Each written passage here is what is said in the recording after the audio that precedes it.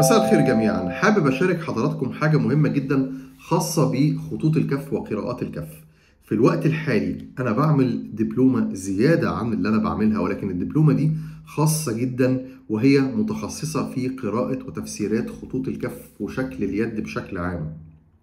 اللي حابب أقوله لحضراتكم إن في نهاية كل مستوى من هذه المستويات في الدبلومة دي بيكون في سطر مكتوب تحت كده موجود في هذا الكورس بيقول لي طبق الكلام اللي انت درسته في المستوى ده على كف إيدك بالظبط. يعني قيم كف إيدك وقيم الخطوط وقيم الشكل وشوف التفسيرات اللي إحنا كاتبينها دي تنطبق عليك ولا لا.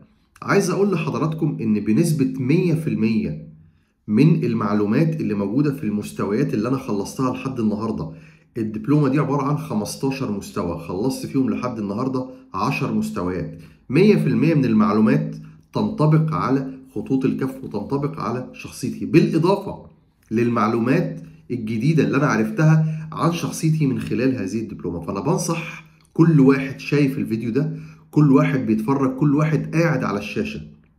حط حتة تفسير خطوط الكف من ضمن الأولويات لو أنت حابب أنك تطور من نفسك بشكل مميز وبشكل ملحوظ.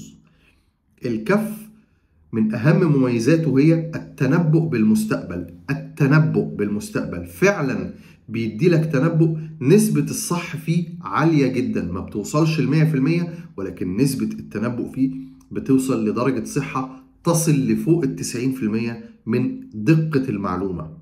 كل واحد لما يعرف صفات شخصيته من خلال خطوط كفه اللي هم مرتبطين ارتباط قوي جدا بعقلك الحاضر وعقلك الباطن دول أهم حاجتين موجودين خلقهم ربنا عشان يحدد لك الشخصية والكاريزما اللي هي موجودة عند حضرتك. أرجو من الجميع إن هم ياخدوا الموضوع ده بأهمية قصوى. اللي حابب إن هو يطور من نفسه واللي حابب إن هو يعرف تفاصيل عن شخصيته يسيب لي في التعليق وأنا هبدأ أتواصل مع الناس وعايز أقول لكم إن لما أخلص الدبلومة دي إن شاء الله وأعمل ال project بتاعي بتاع التخرج لازم هقول لحضراتكم على توقيت التخرج من المشروع إن شاء الله بتاع الدبلومة. ده طبعا يعني شهادة زيادة عن طبيعة دراستي اللي هي متعلقة بعلم النفس اللي أنا أصلا دي أصلا دراستي.